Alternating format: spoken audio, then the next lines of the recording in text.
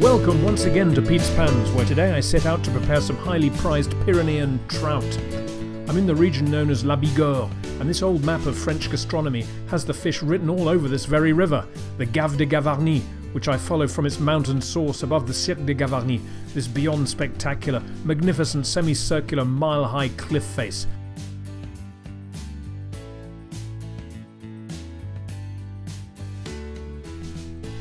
cascades 413 metres down the wall and then flows northwards down the valley to the village of Gèdre, whose coat of arms indicates I'm on the right track. And on to the town of Argelès-Gazost, through this wonderful fish farm where trout are bred in the natural waters of the river, so have all the flavours of the wild. Today these spanking fresh specimens are being served with toasted almonds in a preparation known as truite amandine or truite aux amandes, almond trout. This delightfully straightforward recipe is ideal as I'm fast running out of daylight for shooting the video. These are the ingredients for the simple dish. For the complete written recipe, head over to petespans.com, and to keep informed of all my new travel recipes, consider hitting the button to subscribe. Cut off any fins on the trout. Season generously on both sides and give them a light coating of flour.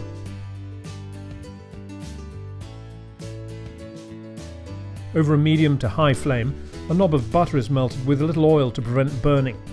Apologies here for the quality of my pan, which being uneven and terribly thin is not really up to the job, but will do for camping.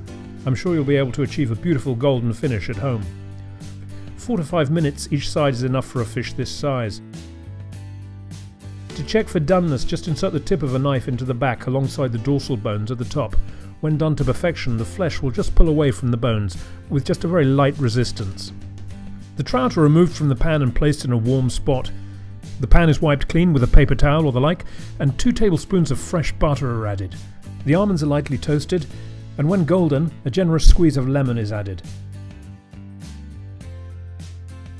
And finally the chopped parsley is mixed in.